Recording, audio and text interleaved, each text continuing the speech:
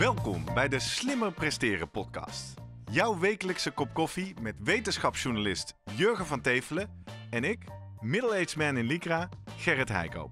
Over sport, onderzoek en innovatie.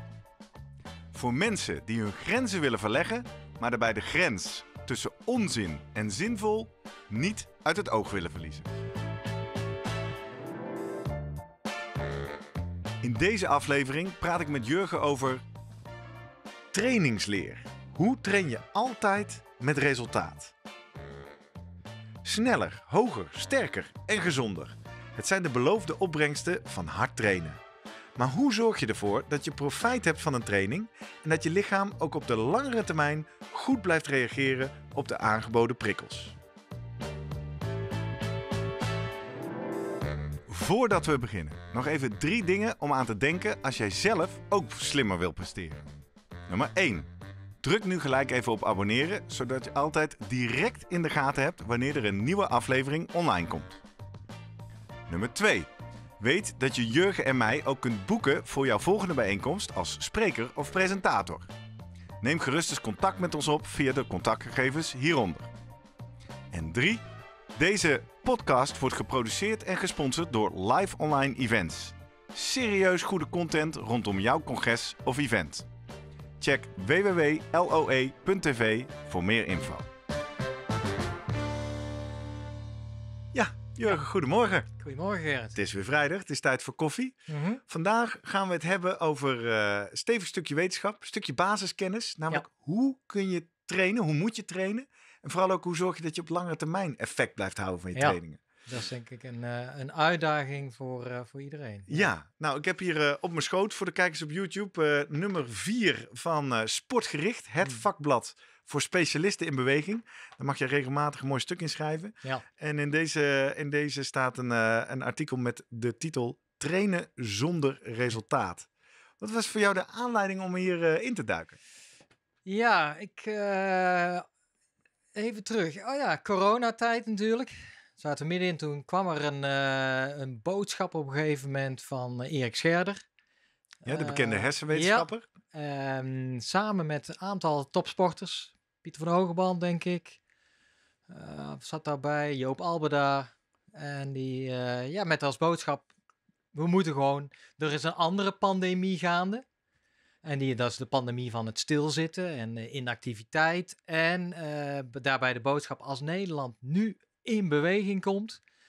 eh, dan zorgen we eigenlijk ook dat we nou, een betere immuniteit eh, opbouwen en beter bestand zijn tegen een virusuitbraak à la de corona. Ja, hun boodschap was eigenlijk, we zien nu opeens hoe daadkrachtig we als een regering Ja. een probleem kunnen aanpakken. Dames en heren, weten wel, er is een veel groter probleem. Dus Precies. ook hier willen we centrale regie. kom in beweging. En eh, toen dacht ik eigenlijk, ja, toen moest ik denken aan, ja, logisch, jij en ik weten van natuurlijk, maar wij houden ook van sporten. En eh dit is een boodschap die we al, al jaren, denk ik, horen, hè? niks nieuws. Ja, er is En een hoop- beweegnorm in Ja, Nederland. Hè? en, 20 minuten actief per dag bewegen. Ja, en dan hoop je altijd, en dan denk je, ja, van eh, dat het omgezet wordt van woorden naar daden. Hè? Terwijl je dan terugziet, ook bij je eigen kinderen, hoeveel gymonderwijs ze nog hebben in de week. En eh, ja, hoeveel, hoe aantrekkelijk eh, eh, telefoons zijn tegenwoordig. Dus toen dacht ik, ja, plus er is ook nog een groep mensen die niet zoals jij en ik zijn en die eigenlijk heel weinig met sport hebben. Ja. En ja, wie ben ik dan om tegen hun te zeggen: nee, joh, eh, je moet gewoon die beweegnormen aan. eh, sporten. Ja, en Dat- dan komt het goed met je. Ik, ik Ja. denk dat ik die link van: oh, als we maar gaan sporten, gaan bewegen. Want zo was de boodschap een beetje van, van Scherder en Co. Dan komt het helemaal goed met jezelf en met heel Nederland. Dat Ja. is, en toen dacht ik: nou, dat is een beetje eh, kort door de bocht. Dat ik ga ken jou inmiddels wat beter. Dit soort, dit soort algemene wijze- waarheden, Ja. eh, dat strijkt jou een beetje tegen de haren Zeker. vaak. Hè? Ik denk, dat daar zit meer achter. Want toen ging ik eigenlijk op zoek naar, eh, naar echte beweegstudies die gedaan zijn in de wetenschappelijke literatuur, waarbij ze mensen die relatief eh, veel op de bank zitten, echte bankzitters, aan het bewegen krijgen middels een beweegprogramma van een x aantal weken. En dan zie je eigenlijk gemiddeld genomen gaan ze erop vooruit. En dan Ja. kijken ze een aantal parameters, bijvoorbeeld de maximale zuurstofopname. Zegt iets over je conditie. Ja, hoe ze het doen op een fietstest. Eh, Ze meten van alles in het bloed, cholesterolwaardes, je bloeddruk, noem maar op. Ja. Maar er is ook een Ja, wacht even, maar de eerste conclusie, Ja. gemiddeld gaan ze vooruit, dus slingeren wij de wereld in. Bewegen Prima. is goed, want kijk, gemiddeld onze studie, zoveel procent Zeker. verbetering. En die, eh, die studies die, eh, die, die worden ook gepubliceerd op die manier. Want eh, statistisch, statistisch getest, significante verbeteringen. Totdat een een man, Claude Bouchard, dat is eigenlijk een Canadese wetenschapper, die is op een gegeven moment alle data nog eens goed gaan bekijken. En die, die zag wel continu van, ja, we hebben het hier over gemiddelde. En zoals jij en ik wel weten, ja, d- er is geen gemiddelde mens. eh, en, eh, Nee, zeker. de, de, de, de metafoor die mij altijd eh, helpt en altijd bij Flava, een gemiddelde mens heeft één borst Ja, ja. en een halve bal. Of eh, en één bal, toch? ja. Ja. Nou. Hè, want eh, mensen hebben twee ballen, twee borsten, dus gemiddeld één borst, één bal. Dat kan dus niet bij Ja. mensen. En hij heeft eh, heel veel onderzoek gedaan, juist bij eh, families, eh, Amerikaanse families, een stuk of, eh, nou het ging om al 700 familieleden van verschillende families. Zijn doel was eigenlijk van om een beetje te achter te komen van in hoeverre spelen genen nou een rol bij eh, ja, prestaties of het verbeteren van eh, eh, lichamelijke conditie. Dus hij heeft verschillende familieleden, verschillende families zo'n beweegprogramma aangeboden. En toen viel hem op, ja, als je het goed bekijkt, is er ook gewoon een groep die niet profiteert en zelfs achteruit lijkt te gaan van een beweegprogramma. Ja, hij had, hij had een grote studie, veel mensen. En het viel hem op, er was enorme variatie. Ja, dat is één. En als hij dan naar de onderkant keek, zei hij, ja, nou, dan heb je ook een groepje. Die blijven gewoon, de, als je dan de, de zuurstof, bijvoorbeeld zuurstofopname kijkt als maat voor conditie. Na eh, twintig weken eh, en echt gewoon een goede training, gebaseerd op hun basale eh, VO2 eh, max. En eh, dus steeds progressief, dat ze steeds iets zwaardere trainingen kregen. En na twintig weken weer zo'n test gedaan. En zei, eh, niks vooruit gegaan. Nee. Ja, hoe kun je dan de boodschap eh, de, lucht inslingeren? Ja, ga maar bewegen, want het bewegen is goed voor je. Ja. En, dat is dus niet algemeen waar. Dat Nee. is les 1. Ja. En aan de hand daarvan dacht ik, ah, dan wil ik nog eens beter uitzoeken van of dat in andere studies ook gevonden is eh, en wat je daar kan tegen doen. En dat heb ik eigenlijk toen voor sportgericht nog veel dieper uitgezocht. En ook, ja, dit zijn natuurlijk academische studies met mensen die van nature al weinig sporten. Eh, heb je het probleem in die studies van, ja, wat als je die mensen nou niet op dat, dat beweegprogramma zet? Waarschijnlijk zijn ze dan achteruit gegaan, maar die controlegroep wordt vaak niet meegenomen. Mhm. Dus dan is misschien het gelijk blijven van de maximale zuurstofconsumptie of allerlei winst. cholesterolwaarde, is al een verbetering, is al een, eh, een effect. Ja. Dus toen heb ik ook voor sportgericht nog eens twee eh, coaches eh, en trainers gesproken van, ja, wat, hoe gaan jullie om met, nou ja, non-responders? eh, Ja, want zo heet dat dan. Hè? Ja. De mensen die geen vaste luisteraars zijn. Als je in een wetenschappelijke studie een, een interventie gaat testen. En je ziet bij een deel van de mensen heeft het wel effect, en een deel Ja. mensen niet. Dan zeg je gewoon, oké, die hou ik buiten mijn set. Want blijkbaar is er een groep mensen Klopt. die zijn non-responders. Die reageren niet op deze interventie. Ja, en het liefst, eh, die wil je eigenlijk niet hebben, want ze maken gewoon die statistische analyse nogal lastig. En, eh, maar ze komen voor, bijvoorbeeld, eh, ja, wordt gezegd in ieder geval van de, de hoogtestage. Ja, Wel aflevering niet, waar we eh, het eerder ja. over gehad hebben. Sommige mensen reageren daar wel op, anderen niet. Ja. Non-responders. ja, eh, cafeïne een beetje, hebben we het ook al over gehad. bleek te liggen aan de genen. Ja. Want dat is een beetje, en dan- daar kom je zo als je over de training Ja. bent. Wij hebben het al een aantal keer over dit artikel en over jouw nieuwsgierigheid hiernaar gehad. En Ja. ik zeg iedere keer, ja nou en Jurgen. Wat je eigenlijk aan het aantonen bent, is dat de een Ja. meer aanleg heeft voor training en, en, en fysieke groei dan de ander. Klopt. Dat is toch geen inzicht? Ja, dat, Maar goed, ja, dat, dat is er er is geen inzin. Maar ja, wat moet je dan als jij zou zeggen, ja, maar jij hebt geen aanleg voor sporten. Wa- Wat is dan de boodschap voor die mensen? Van nou, doe het dan maar niet. Of, eh, Ja. En, en waar komt dan in jouw optiek die aanleg vandaan? Ja, nee, ja dat weet ik dus niet. nee. En, en je bent dus, eh, ik hoop dan maar ook door mijn kritische vragen dieper gegaan. Ja, Want je bent verder gaan kijken en onder andere gaan spreken met ja ik denk wel dat het eh, uiteindelijk leuk is, want dan kunnen we een hele uitzending aan wijden over talent om te sporten. Waar zit dat hem in, hè? Nou, die Bouchard, omdat hij veel keek naar, binnen, naar verschillende families, die, die liet duidelijk zien dat de genen daadwerkelijk een rol spelen. Ja. Eh, hij komt dan uit op een beetje 50, 50 procent. Wat hij ziet is dan op zo'n beweegprogramma, als je kijkt naar familieleden van één familie, die lijken allemaal toch in een bepaalde richting te reageren. En dat die variatie tussen die familieleden een stuk kleiner is dan de variatie die je vindt tussen families. Exact. Wat een Dus- hint zou zijn naar genetische Zeker. aanleg of, Ja. of context. Ja. Alleen eigenlijk als je het echt goed wil doen, want nou, vanaf het moment eigenlijk dat jij in, eh, in de buik van, eh, van, van je moeder eh, komt, ja, dan gebeurt er al wat natuurlijk. Van, nou ja, hoe goed wordt, wordt die doorbloed, zeg maar. Jouw, de, de, navelstreng, welke voedingsstoffen, hoe gezond is, is je moeder op dat moment aan het leven? Nou, dan kom je natuurlijk ter wereld. Ja, en dan krijg je, krijg je nog allerlei andere invloeden. Ja. Ook van, van buitenaf, waar groei je op? Eh, dus die om- omgevingsfactoren zijn natuurlijk belangrijk. Ook van, ja, zijn je ouders begaan met sport? Eh, juist wel of niet? Of zit ze te veel erbovenop? Dan kan je nog de goede genen hebben. Wordt natuurlijk altijd gezegd, ja, eh, ik weet nog toen Naomi van As en, en Sven... Sven Kramer? ja, ik weet niet, die kind is er inmiddels, hè? Ja, dat volgens mij wel. Daar werd al gegrapt van, ah, dat wordt natuurlijk ideale ijshockeyer, gaat dat worden. Ja, precies. nu blijkt, dat zit natuurlijk in je keuken, daar, daar zit een pakketje genen, dat zit wel goed, klaar. dat, eh, dat, dat moet ook wel. Aan, aan de andere kant ligt er bij het opgroeien ook van, ja, als, eh, als Sven daar te veel bovenop gaat zitten van, eh, en je zult en moet nu op je derde... In de schoenen van je ouders gaan ja, staan, ja. schaatsen aan, op naar die ijsbaan. Ik weet het niet. En dat is We kennen natuurlijk- een familie in Nederland waar het goed is gelukt. Hè? De Ja. familie Verstappen. Klopt. Waar zo'n Max eh, toch het Ja. werk van Jos even afmaakt. Ja, maar volgens mij zijn er ook tal van voorbeelden waar, Waar de het zoon het allemaal niet zo goed doet als Nee. de vader. eh Cruijff, eh, Johan Cruijff, Jordi. Ja. Dus het eh, kan ook bepaalde eh, last eh, geven natuurlijk.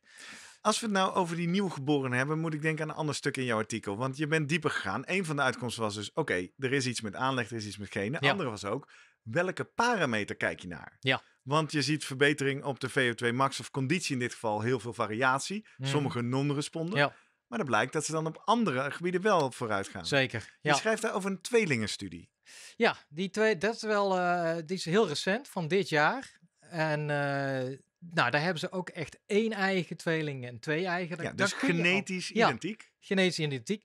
Heb je nog steeds van, ja, eh, ligt er groeien die samen op in diezelfde omgeving? Ja. Het zou, ja, de ideale eh, studie is volgens mij één, ei- één ei om de omgeving, één eigen tweelingen te nemen met twee eigen en dan eh, vanaf eh, ge- de geboorte de helft wegsturen. Ja, ja, ja. En in een we, heel ander gezin laten opgroeien. Ja, misschien dat het toch ergens verwisseld zijn. Of mensen geadopteerd, weet ik helemaal. Maar de- deze heeft het goed, goed aangepakt, vond ik zelf. Of in ieder geval echt zoals het nog nooit gebeurd is. Want die hebben gekeken van, eh, er was wel een lichte aanwijzing dat als mensen matig reageren met hun V2 Max op een duur eh, trainingsprogramma, Ja. dat ze wellicht beter reageren op een kracht eh, trainingsprogramma. Ja. En dan hebben we het misschien al, ook al eerder gehad over de ene ja, reageert gewoon of heeft meer baat bij krachttraining. We hebben Type- een aflevering type gemaakt eh, naar aanleiding van Sifan. Hassan over Ja. de type spiervezels die je hebt. Ga hem eh, zeker eens even opzoeken. En zij hebben dat echt eh, eigenlijk eh, goed bekeken door die tweelingen op een trainingsprogramma te zetten van drie maanden kracht. Dan twee maanden eh, ja, wash-out, even weer helemaal niks doen, van nul beginnen. En dan drie maanden duurtraining. Ja. En dan dat die de, elke tweeling volgt precies hetzelfde moment, hetzelfde programma. Ja. Dan heb je ook niet van, ja goed, misschien dat de temperatuur Ja, beter, ja, weer, ja. noem alles maar op. Eh, nou ja, en het- ik vond het, het is een complexe studie, want het is echt niet zo dat al die tweelingen eh, helemaal homogeen reageerden en precies hetzelfde verbeterden op die trainingsprogramma's. Nou, grofstoffelijk kun je wel zeggen van na een krachttrainingsprogramma ging werden ze krachtiger. Ja. Dus daarna gingen ze gewoon, ze, trainen Zagen de daar benen ook en responders en non-responders? Of iedereen, iedereen wordt beter van krachttraining? Ja, niet helemaal. Eh, voor de, de beenspieren, daar reageerde iedereen positief op. Maar de armspieren, dus deden die, die benchpress, de bankdrukken, Ja. daar reageerde iets van nou, rond de 90%. Kreeg meer kracht. Dat is prima. Maar nu was het grappige, na dat trainingsprogramma ging ook, krachttrainingsprogramma, ging ook de VO2 max in, nou, iets van 40 of 40% van de mensen omhoog. Ja. En dat is weer gek, 40%. Dat zijn dus sommigen wel, Ja. sommigen niet. Dus Ja. sommigen hebben echt met een krachttraining krijgen ze en meer kracht en meer een eh, betere conditie. conditie. Ja. Ehm, andere aspect is dat op die, die duurtraining, dat daar, nou, volgens mij, de, nou, de helft van de, na de duurtraining reageerde goed beter op VO2 max en op kracht. Ja. Dus dan denk je, ah, nou, dat is prima. Eigenlijk bied je gewoon, die mensen hebben genoeg aan een, eh, aan een duurprogramma. Ja. Worden ze en sterker van. En, En, en, eh, en la- hou het langer vol. Ja. heb je ook nog een groep waarvan ongeveer 35% die reageren wel positief wat betreft hun conditie, maar negatief wat betreft hun kracht. Ja, Op het moment dat ze dus een duursportprogramma Precies. krijgen. Dus zij doen dan niet actief aan krachttrainen, verliezen ze eigenlijk spierkracht. Aha. dus om maar aan te geven hoe ingewikkeld het is.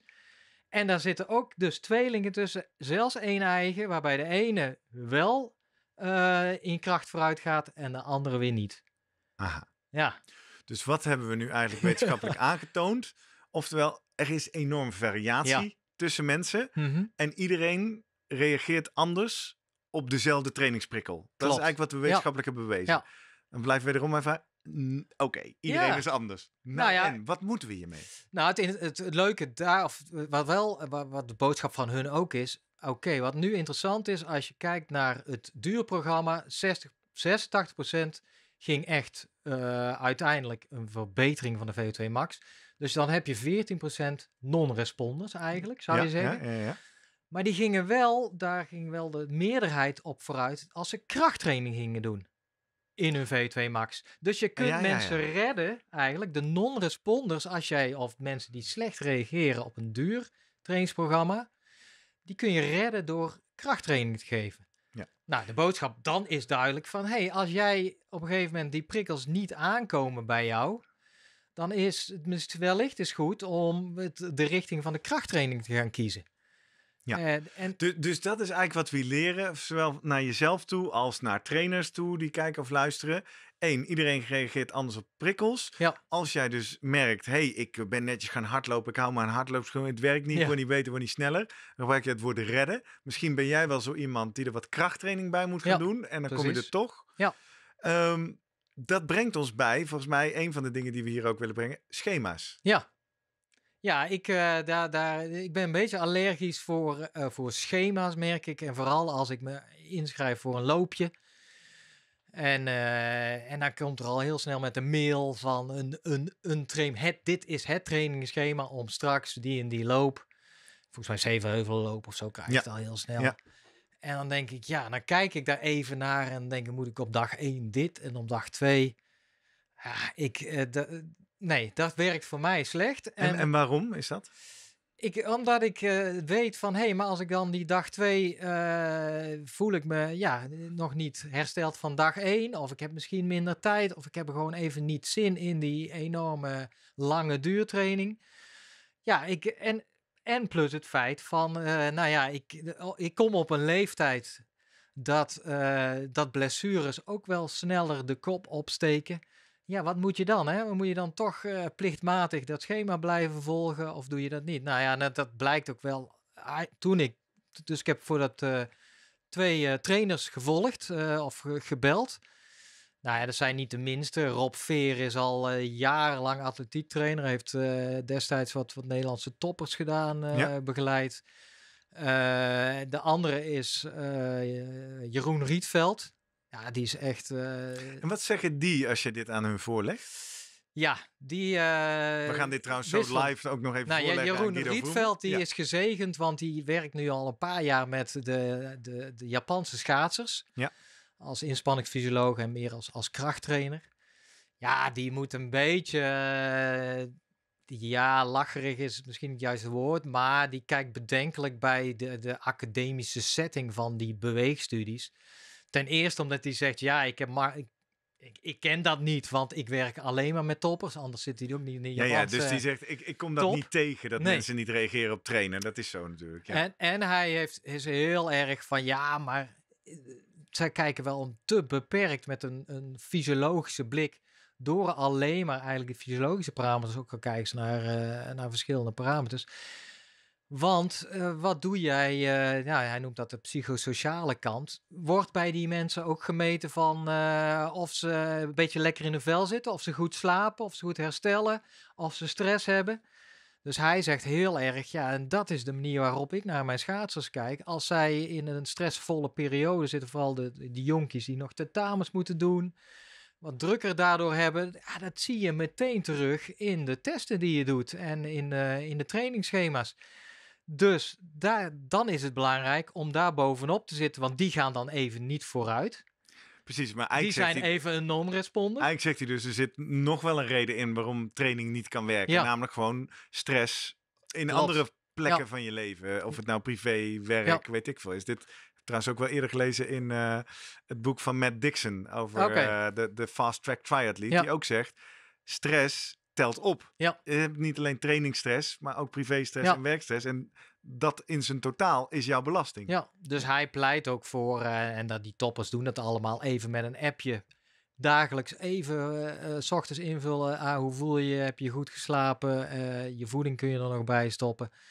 En dan, dan kan je dat als, als trainer ben je eigenlijk dan al voorbereid op het feit dat iemand misschien wel eens de komende periode wat minder goed reageert op die prikkels. En je begrijpt dan ook waar dat door komt. Ja, Hè? klopt. Het is geen magisch Ja. iets. Ja. Ehm, en eh, ja, en het andere is natuurlijk, ehm, ja, wat, wat is het doel precies? Hè? Wil, je, wil je echt verbeteren? Of heb je een ander doel van fit blijven en bijvoorbeeld, eh, ja, ik kom op die leeftijd dat het bij mij allemaal wat achteruit holt. PR, een PR halen is best wel lastig, denk ik, op een 10 kilometer hardlopen al in ieder geval. Ja, dan moet je misschien je doel verschuiven naar, eh, oké, per jaar hebben we het over gehad. Ga je volgens de statistieken 1% eh per, per jaar was het. eh, Achteruit in de aflevering die we gemaakt hebben over de ouder wordende Klopt. atleet. Veel Nou. reacties nog altijd trouwens op. Misschien moet ik dan juist zeggen, oké, dat ik wil daar binnen blijven. Ehm, Ja, dus je wil zeggen, op je klassieke parameters zou je dan zeggen, hey, trainingen hebben Ja. geen effect meer. Ja, maar wacht even, je moet in de gaten houden. Als je niet zou trainen, zou je achteruit gaan. Dus als je op de nul Ja. blijft hangen, Ja. dan ben je juist nog steeds Ja. de achteruitgang aan het tegengaan. En de val, een, een, een, valkuil is echt eh, door steeds dat je denkt, hey, ik verbeter niet. Dus nou, hoe, hoe merk je dat? Ja, je doet denk ik om de twee maanden bijvoorbeeld je vaste eh 10 kilometer rondje. Of 5 kilometer. En je denkt, ja, ik word niks beter. Ja, dan denk je, ik, ik train te weinig. Hè? Dat is de natuurlijke neiging en valkuil van veel mensen.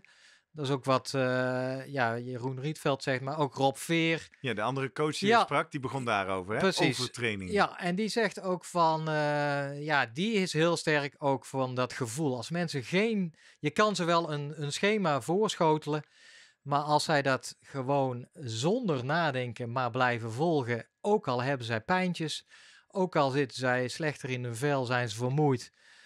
En toch iets menen, ja, maar ik moet vandaag toch mijn, eh, eh, mijn, mijn, mijn 10 kilometer of mijn, mijn, mijn intervaltraining doen. Ja, dan gaat het mis. Dan Ja. gaan mensen gewoon, eh, da- en dan kom je, ja, dan ga je misschien een non-responder worden of reageer je slecht. Eh, plus, Dat eh, je te veel traint. En dan komen we eigenlijk terug. Hè? Jij riep net al schema's, ik vind Ja. het niks. Nou, allereerst omdat we dus wetenschappelijk ook zien... mensen zijn allemaal anders. Dus dezelfde training heeft niet hetzelfde effect voor de andere persoon. Ja. Tweede is dus eigenlijk dat je zegt... ja, maar weet je, schema's duwen jou in trainingen... terwijl je daar misschien wel niet aan toe bent. Ja. Aan de andere kant herinner ik mezelf gelukkig nog... want zoveel jaar ben ik nog niet bezig... Als je voor het eerst een 5 kilometer gaat doen, als je van niks komt, is het. eh, daarna ja. voor het eerst een 10 kilometer Ja. gaat doen, of in mijn geval voor het eerst een marathon gaat doen, Ja. je hebt geen idee Nee. waar je aan begint. Je weet niet of je er goed aan doet, je weet niet hoe verschrikkelijk dood je zal gaan straks. Dus alles wat jou mentaal iets van houvast geeft, een soort receptje, Ja. doe nou maar dit, dan komt het goed. Ja, ik snap wel dat je je daar aan vastklampt. Ja. Sterker nog, ik heb het ja, ook dat gedaan. kijk, voor beginners is het prima. En dat is ook als ik in de keuken sta en eh, iets kook. Ja, hè? In ieder geval. een eh, kok zal hier ook roepen. Ja, ja. je moet gewoon een beetje koken op gevoel. Hè? moet Lekkere het, eh, ingrediënten precies. bij elkaar gooien. Ja, weet ik veel. vroeger was, het- moest het precies afgemeten zijn Ja. als ik pasta maakte. En tegenwoordig durf ik al met de losse pols. Dat is hetzelfde van het, ja, het, het ontwikkelen van het gevoel. ja.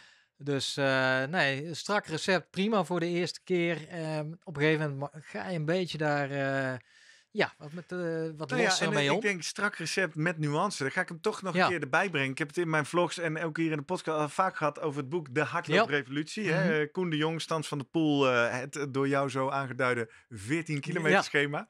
Dat is één kant van het verhaal. Maar hij legt in dit boek ook wel heel goed een stukje basis trainingsleer uit. Precies wat Rob Veer zegt en jij ook zegt.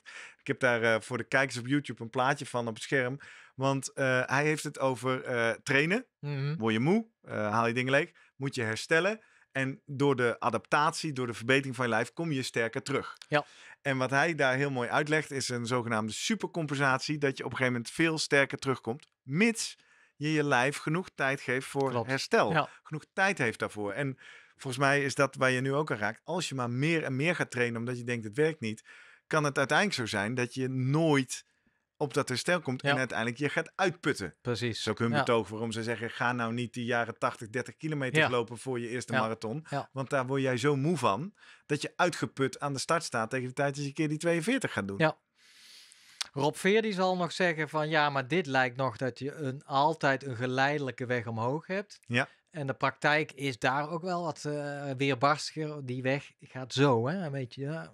Je hebt Ja, altijd... voor de luisteraars nu, jij maakt met je hand een soort Ja. kuilen, pieken, dalen Precies. Ja. Dus er zijn hobbels op de weg en kuilen. Et, en dus dat hoort er ook bij. Ga niet bij elke stilstand of achteruitgang meteen iets van, oh, er is iets aan de hand. Nee, ja, dat is de weg naar verbetering. Ja. Die gaat niet over, eh, die is niet strak geleidelijk. En op een gegeven moment, ja, als je echt goed bent, dan gaat hij natuurlijk echt afvlakken. Dan wordt het heel interessant.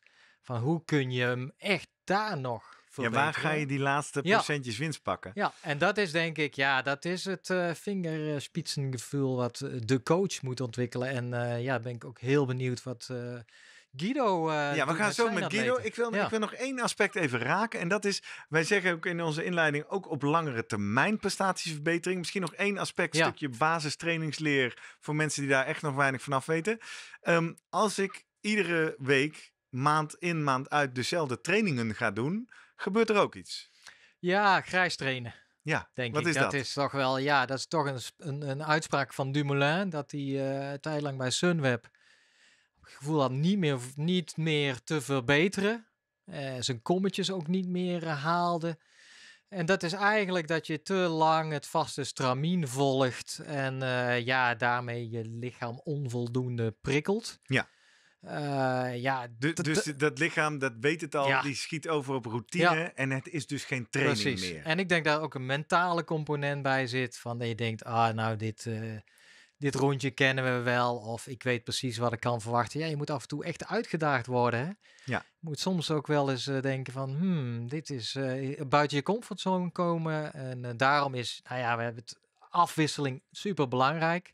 Aflevering 3 hebben we daar uitgebreid Ja, over gesproken. afwisseling binnen eh, een sport eh, met, met, of aanvullend andere sporten is gebruiken. Ga maar eens als jij klaar bent met het hardlopen, ga maar eens een tijdje even iets heel anders doen. Dan krijg je, krijg je weer honger. Ja. Eh, en ik denk gewoon eens goed eens kijken bij in de andere keukens. Dus ook, ja, ga eens kijken bij dat 14 kilometer schema.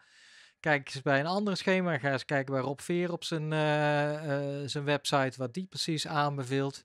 Er zijn heel veel wegen die naar Rome eh, leiden. Ja, en dat ja, doet en- dan weer een aantal dingen. Dat geeft je dus fysiek variatie, maar ook geestelijk word je Ja. daardoor een steeds slimmere atleet. Klopt. Want je pikt wat van Koen de Jong, je pikt Ja. wat van Rob Veer. We pikken zo wat van Guido Vroemen. En daarmee. Dus de tussenconclusies voor nu. Iedereen is anders. Pas dus op met algemene waarheden. Pas op met algemene normen. Ja. En schrik dus ook niet meteen als het voor jou niet werkt. Ga op zoek naar de variatie. Zeker. Wat meer kracht erbij. Andere sporten erbij. Ja. Laten we zo Guido gaan vragen hoe hij eh, zijn atleten altijd maar effectieve trainingen blijft geven. Oké. We gaan zoomen met Vroemen. Zoom, zoom, zoom. Vroom, vroom.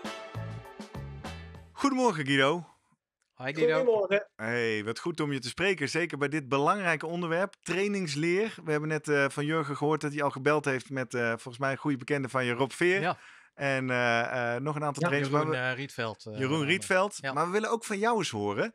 Ehm, training, dezelfde training, grijs trainen. Op een gegeven moment kan het zijn dat... eh, nee, laten we beginnen bij het begin. Zie jij wel eens dat jouw atleten stilvallen? Niet meer reageren op de trainingen die je voorschrijft? Nee, nooit. Oh. nou, dan zijn we uitgesproken. Dankjewel. Of wil jij dat niet Tot zien, Guido? volgende week. eh. Ah, lekker band soms, toch? Hè? Ja, ja, ja. Nee, ja, weet je, ehm, je zoekt, je je probeert altijd, hè, je probeert altijd mensen eh, uit hun evenwicht te krijgen, te prikkelen. Ehm, en je ziet eh, natuurlijk op een gegeven moment dat dat minder gebeurt. Ja. En ehm, als je dat ziet, dan is het tijd voor, nou ja, een nieuwe prikkel, hè? een andere prikkel, meer. Eh, want dan moet hij weer eh, eh, uit zijn evenwicht worden gestoten. En hoe zoek jij die nieuwe prikkel dan? In ehm, een andere sport zelf soms? Of juist rust? Of meer? Of hoe doe je dat? Het ligt er een beetje aan waar je in, in de fase van eh, waar je zit hè, in het seizoen. Ehm, stel dat je in een opbouw zit en eh, we hebben bepaalde. Dan wil je natuurlijk. Nou ja, als je nog niet bent op het niveau waarvan je eigenlijk, waar je eigenlijk naartoe wilt, dan, eh, dan, hè, dan zal de omvang en de intensiteit kunnen gaan toenemen. Hè, dan ga je daarmee spelen. Ehm, dus dan is het vaak van, eh, nou, met mijn vermogenmeters waar ik mee werk, dan ga ik daar eigenlijk eh, aan knopjes draaien. En dan krijg je misschien ehm, nou ja, een, een ander energiesysteem waar je eigenlijk meer de focus op gaat leggen. Dan heb je weer op het anaerobe capaciteit vermogen, of je gaat wat meer op het VO2 max vermogen, of je gaat wat meer op FTP vermogen trainen. Daar ga je eigenlijk wat aan schuiven. Ik ga toch even voor onze minder onderlegde kijkers en luisteraars misschien de eerste keer. Je hebt het nu over verschil tussen anaeroop, oftewel hè, eh, in, die, in die zone waar je niet meer op zuurstof werkt. Als je het hebt over V2 max, dat is dus wel zuurstofconditie. En FTP trainen. Ja. Nou ja, eigenlijk, hè, je, je hebt een aantal energiesystemen. Eh, energiesystemen die gebruiken zuurstof. En daar kun je ehm, als brandstof koolhydraten en vetten voor gebruiken. Ja. Nou, dat, eh, je hebt ook eh, energiesystemen eh, die zonder zuurstof koolhydraten verbranden. Het anaerobe energiesysteem. Ja. En nou ja, hoe hoger, dan heb je ook nog het sprintsysteem. En dat is eigenlijk een heel eh, sterk systeem. Die kan heel veel vermogen leveren, maar eigenlijk is ook binnen 10 seconden is het ook al redelijk leeg. Ja. Dus daar kun je kort en heel hard mee gaan. En met dat anaerobe systeem, ja, daar, daar zit je eigenlijk ehm, voornamelijk energie te halen uit koolhydraten zonder zuurstof. Dus je verbrandt het, eh, je kunt het niet volledig verbranden met zuurstof, dus het, je gaat heel snel zonder zuurstofverbranding en daar krijg je lactaat voor. Nou ja, eigenlijk heb je dus als je van eh, eh, de zones bekijkt, heb je een rustig herstel, een rustige duur, tempoduur en dan komt je anaerobe drempel. Dat is een beetje het scheidingsgebied waarbij je ehm, voornamelijk daaronder zit je dus allemaal met zuurstof en daarboven ga je dus voornamelijk zonder zuurstof. Hoe Ja. verder je daarboven komt, hoe meer anaerobe energie. Ja. Dus dan heb je die anaerobe drempel daarbovenop. Dan krijg je al, ook al veel anaerobe arbeid, dus die VO2 max. Daarbovenop krijg je eigenlijk anaerobe capaciteit. En nog verder omhoog dan eigenlijk is het sprinten. Helder. Dus die zones En je zegt dus eigenlijk, op het moment dat ik zie dat een atleet stilvalt, dan ga ik daarin variëren. Ga ik in andere systemen training eh, aanbieden. Ja, je kunt eigenlijk kiezen, dus eh, ga ik het zuurstofsysteem verbeteren of ga ik het anaerobe systeem verbeteren? Ja. Ja. En die, je kunt ze niet allebei tegelijk verbeteren. Want als je het anaerobe systeem gaat verbeteren en het wordt sterker, dan moet je inleveren op je zuurstofsysteem. On- Onherroepelijk. Ja. Maar ga je, je- daarna weer je zuurstofsysteem weer verbeteren, dan zul je daarna weer wat moeten inleveren op je anaerobe systeem. Maar langzaam worden ze wel steeds een beetje beter. Dat is eigenlijk hetgene wat je wilt. Ja. En dan heb je natuurlijk wel te maken met de ene sport heeft veel meer anaerobe systeem nodig dan de andere sport. Als je een lange afstandstriathlon doet, dan zit je niet heel veel in het anaerobe systeem eh, te werken. Want dan moet je gewoon heel veel vanuit je duur doen. Ja. Maar daardoor te wisselen daarin, in die systemen, ehm, ehm, blijf je wel zeg maar prikkelen. Helder? Ja, eh, Rob eh, had het nog. Een, een groep waar hij moeite mee had, was de vrouwen in de overgang. Moeten we wel even om compleet te zijn, zeker in deze podcast, hij zegt daar expliciet bij, ik heb hier geen wetenschappelijk Nee. onderwijs, eh, of hij- eh, onderzoek naar gezien. Ik weet niet, heeft hij jou al gebeld? Want hij ging het nog uitzoeken of hij ging het met eh medecoaches overleggen. Eh, heb jij ook in jouw trainingsgroep eh, deze, deze groep die wat eh, weerbarstiger lijkt te reageren op trainingen? Of ken je, ken jij, weet jij een beetje van eh, waar hij op geen doelt? hele groep van in ieder geval. Oké. Nee. Want hij, misschien- hij, hij zegt dus echt, nou ja, ik heb erover nagedacht en eh, ik heb er toch een, een aantal inmiddels. En ik krijg daar maar moeilijk grip op wat daar aan de hand is, want eh, die lijken... ehm, Ze ja, doen hartstikke hun best, hè, zegt Ja. hij. Ze trainen hartstikke hard, maar er en ze komen niks. bij hem om net even zich nog te verbeteren. Het zijn niet eh, mensen die net Ja. komen kijken. Eh, maar hij zegt echt, ja, daar heb ik nog, dat, dat zou ik nog, de, als, als, als er non-responders zijn bij mij, nou, dat zijn, Ja. die, die groep is dat dan. Heb jij eh, enig idee hoe dat zit? Ja, maar kijk, het eerste wat je dan invalt als je het over die groep hebt, dan is het natuurlijk de hormonale balans. hè, Mhm. die, die gaat helemaal op de schop daar. Ja. En je hormonen zijn natuurlijk heel belangrijk voor je herstel. En als het al helemaal uit balans is en je wilt gaan trainen en je herstel wordt daardoor ook verstoord, Ja. dan krijg je natuurlijk, kun je wel een prikkel geven, maar het herstel blijft uit. Dus dan ga, word je niet beter. Ja.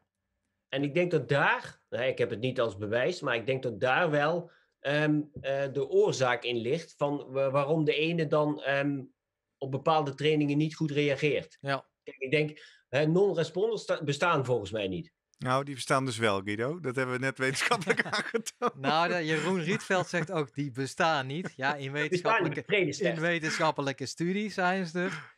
Maar uiteindelijk weet je overal wel. Dus, dus ja, dat, is, dat pleit er alleen maar voor dat eh, nu mensen meer eh, moeten bewegen. Dat die smoes van ja, maar bij mij, eh, mijn lichaam reageert niet op sporten. Dat dat Nee, niet klopt in jouw optiek. nee. Je kunt, weet je, ik denk dat je iedereen kunt uit, je, uit, zijn, bal- uit zijn evenwicht kunt halen. Hè? Je kunt met, met een bepaalde training, de ene heeft daar een hele heftige reactie op, Ja. de ander bijna niks. Maar dan moet je die andere een andere training aanbieden. Maar dat is... Her- herken je dat wel? Dan ben ik wel benieuwd. Hè? Je hebt eerder ons verteld, je hebt eh, ruim 50 atleten onder je hoede. Je hebt natuurlijk een aantal trainingen maak je en die bied je ze aan voor je trainers. Zie jij inderdaad die verschillen? Dat je denkt, huh? bij deze atleet, als ik hem dit laat doen, dan eh, heeft het meteen effect, bij die andere helemaal niet? Ja. Dat herken Ja. je wel. Absoluut, ja, ja, ja. Weet je, je hebt, eh, dat heeft ook te maken met spiervezeltypering. Hoe is iemand gebouwd? Hè, de ene reageert heel snel op bepaalde korte, intensieve trainingen. Die, denkt, die, re- die gaat er ook snel door vooruit en herstelt ook heel snel daarvan. Terwijl de ander dat bijna niet voor elkaar krijgt, bijvoorbeeld. Mhm. Dus daar zit een heel groot verschil in. Ja. Ja. Ehm, heb je ook tweelingen in jouw eh, atletengroep? Om te, de, de- wij hebben het gehad een beetje over de genen hè, en eh, genen, Ja. eh, ver- nature versus nurture. Ehm, heb, en, heb jij tweelingen in jouw groep? Ah, Nee. en doe jij Nee, aan eh, genetische screening, zeg maar? Heb je wel eens een, eh, een genprofieletje van jouw atleten bekeken om een beetje al eh, te kunnen inschatten van waar iemand eh, goed op reageert? Op welke, welke krijg soort ze wel eens. Ik, ik vraag ze nog niet aan. Ik ben eh, nog niet zo zeg maar overtuigd van. Ik denk, ja, weet je, als ik dat heb, Ja. dan heb ik echt de holy grail in de handen. Ehm, want wat er in jouw genen zit, ben ik nog steeds van overtuigd. En weet je zelf ook. Ja. Eh, dat, we- dat moet je wel iets mee doen. Dat moet je wel, dat moet je ontwikkelen. Want ik denk, hè, dat terwijl je met zo'n tweeling, als je die, als je die zeg maar aan, bij de geboorte uit elkaar haalt en je zet de ene eh, in het zuidelijk halfrond ergens en de andere op het noordelijk halfrond, dan komt echt niet hetzelfde uit. Nee. Nee. Dus hè, die, die, eh, die andere externe factoren zijn zo belangrijk. Ehm, dus ja, Oké, ja. Ja, dus je moet er wel iets mee doen. Zeker. Ik Ja, zit wel nou ja, opeens te denken, we hebben natuurlijk wel veel, eh, zeker in triathlon, getalenteerde broers. De Brownlee Brownies, Brothers, ja, ja. de Scheltinga broers. eh, het lijkt allemaal wel in de familie te zitten. Ja. Ja, kijk, ze hebben natuurlijk een bepaald pakket meegekregen. Ehm, waarbij ze dus, nou ja, in ieder geval eh, eh, veel voordeel hebben. En ehm, eh, als ze dat ook goed ontwikkelen, ja, dan zullen ze ook allebei goed eh, naar de top kunnen komen. Ehm, dus dat, dat scheelt natuurlijk.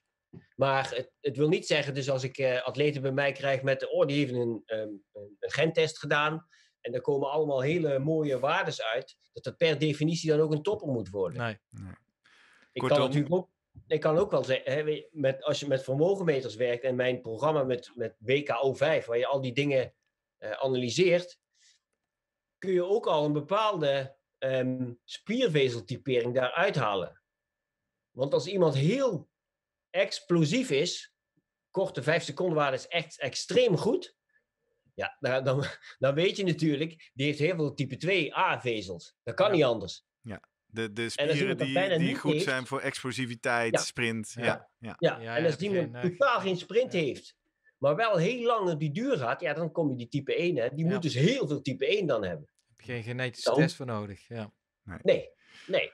Helder. Nou, ik vind de uitsmijter van deze aflevering wel... Je kan wel een mooi setje genen hebben, maar je moet er wel wat mee doen. Ja, En we leren dus eigenlijk wat je ermee moet doen in deze aflevering is voor iedereen anders. Eh, Ja. Moet je variëren. There's no one size fits all. Dus eh, mocht jij op een punt in je trainingen zitten of in, in je, eh, aan het begin van je sportcarrière en het, het werkt niet meteen, weet dus dat dat kan. Ga op zoek naar variatie. Ga wat anders doen. Want uiteindelijk, nou, stellen wij hier dan non-wetenschappelijk, maar met de ervaring van Guido vast, is er altijd wel iets te winnen op het gebied van sport en gezondheid. Ehm, we Ja. zijn benieuwd. Als jij deze hele aflevering afluistert, wat, wat, waar denk je dan aan? Wat zijn jouw ervaringen? Wel- Welke tips heb je? Laat het ons weten. Kan op een aantal manieren. Via Twitter en Instagram. Slimmerpodcast zijn we daar op beide kanalen. Guido is de sportarts. Eh, tag hem vooral even mee.